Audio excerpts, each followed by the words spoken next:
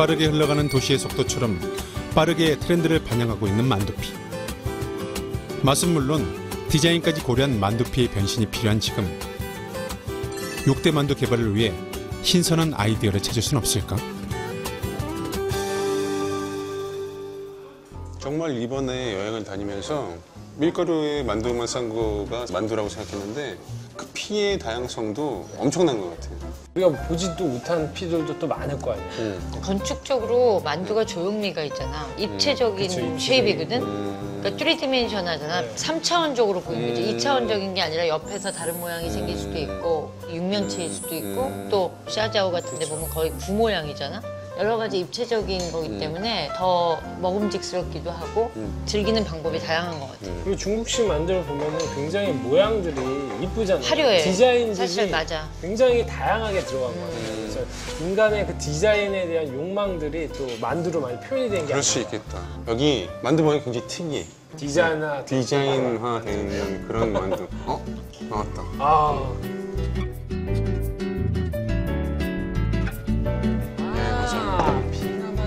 게 빙화 국만두라고 음. 응. 설빙자의 꽃화자 응. 눈꽃 같은 것 같은 응. 거싹 퍼지면서 이게 사실 이렇게 한 번 뒤집기 쉽지 않을 텐데. 이건 팬에다가 이렇게, 채 이렇게. 예. 응. 사실은 이게 밑으로 가서 덮여 있다가 이제 네, 뒤집는 네. 거거든. 응. 그러니까 이제 요게 디자인인가 보다. 이렇게 얇게. 그리고 얇게 얇게 해서 얇게 이렇게 부셔서, 부셔서. 바삭하게 음. 먹는 이게 디저트 만들 때 그 그것처럼 하는데. 군만두 구울 때 전분을 푼 물을 살짝 어, 부으면 맞아. 기름하고 전분이 타다다닥 부으면서 소리가 나면서 이제 쫙 퍼져요. 이렇게 어, 여기 밑에는 촉촉하죠. 바짝 이렇게 구워졌는데 음. 안에는 약간 좀 부드러워. 찐만두처럼 음. 음. 그러니까 두 가지 맛을 동시에. 음. 일단 한번 먹어볼래? 드셔보시죠.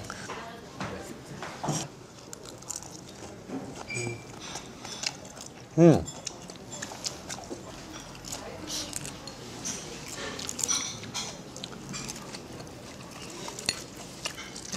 맛있다. 어, 맛있다 이거 바삭바삭한 그 음.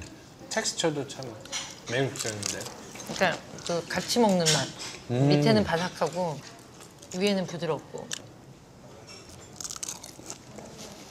음. 맛있다 진짜 또 먹기 시작했어. 음. 이렇게 빙하처럼 디자인이 이뻐지니까 뭔가 좀 특별한 만두 같이 보이잖아요.